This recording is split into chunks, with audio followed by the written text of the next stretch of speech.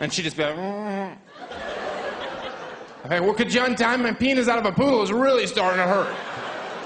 That's how clowns blow you. Like, I don't know how to do it. It's an Asian method. And by Asia, I mean Eastern Russia, none of that Indonesia stuff, which involves a pinky round back. I don't like it.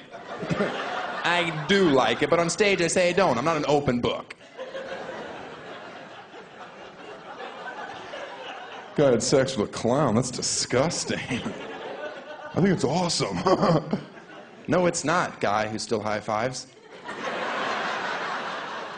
As soon as you take off the wig, the funny shoes, she's just like any other retarded girl.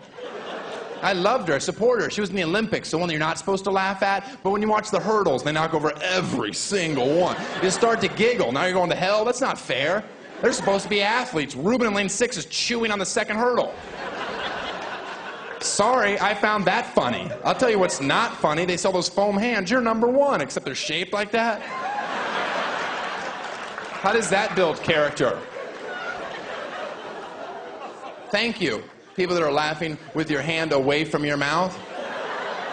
That joke is clearly not for everyone.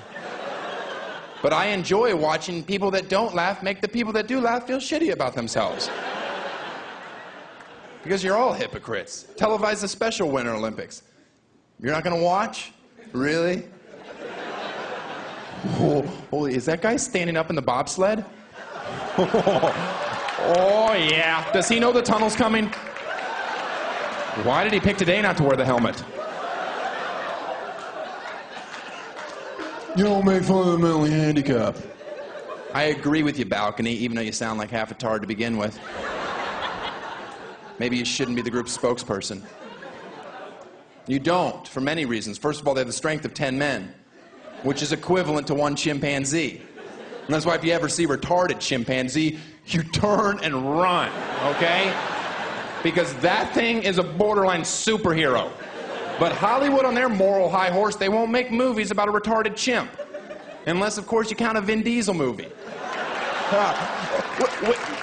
Which I do, which I do. And in all fairness to me, if you're a Vin Diesel fan, you shouldn't be here watching me anyway. You should be at home coloring, praying your next one gets on the refrigerator. But it won't because elephants aren't orange, you idiot. Thanks a lot, you guys. Have a good night.